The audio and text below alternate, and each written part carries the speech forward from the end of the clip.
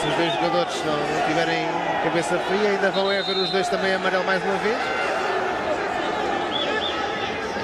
O espanhol e o brasileiro. O árbitro aqui a querer guardar o cartão vermelho.